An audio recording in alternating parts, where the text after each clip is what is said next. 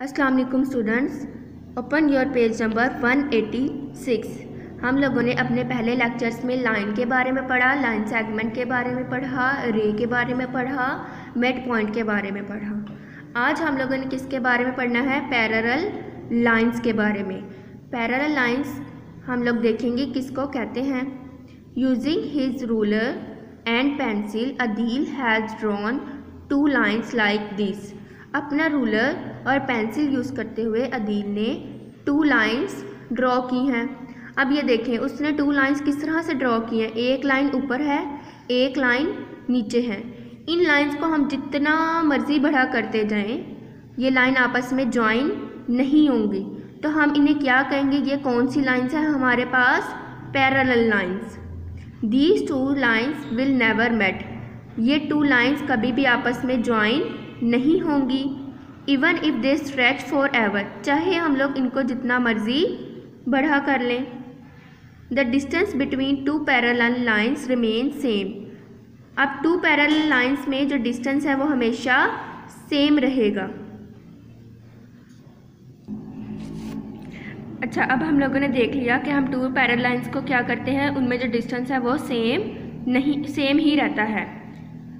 क्योंकि देखें, अब हम लोग ये वाली लाइन है, इसको जितना मर्ज़ी बड़ा कर लें और ऊपर वाली लाइन को जितना मर्ज़ी बढ़ा कर लें। लेकिन इनमें जो डिस्टेंस रहेगा, जो फासला रहेगा, वो सेम रहेगा और इनका कोई भी मेट पॉइंट नहीं होगा।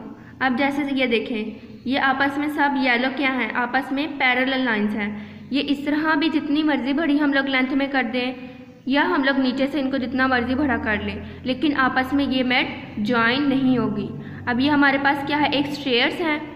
इनके अंदर भी क्या है? ये पैरेलल लाइंस है टू अब हमारे पास स्ट्रेयर जितनी मर्ज़ी बड़ी हो तो उनका क्या है? मेट पॉइंट नहीं होता. अब इस फ्रेम में देखें. ये क्या जो आमने सामने वाली है, ये हमारे पास क्या है? पैरेलल लाइंस ऊपर नीचे आप लोग देखें, ये हमारे पास क्या है? Parallel lines move to the next next page 187 next page में हमारे पास क्या है? शेप्स एंड देयर प्रॉपर्टीज़ अब हमारे पास डिफरेंट शेप्स हैं और उनके डिफरेंट प्रॉपर्टीज़ हम लोगों ने पढ़नी है। Adeel has made four short strips of equal length and another two long strips of equal length Adeel ने क्या किया?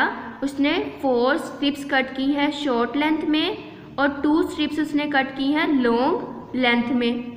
With his four short strips Adeel can make a square and a rhombus Adeel अगर अपनी ये four strips जो short strips हैं, उनको इकट्ठा करे, उनको ज्वाइन करे तो वो किस फॉर्म में कर सकता है? एक स्केयर की फॉर्म में और एक रेम्बस की फॉर्म में। With two short strips and two long strips Adeel can make a rectangle Adeel अगर टू शॉर्ट स्ट्रिप्स ले, ये हमारे पास क्या है?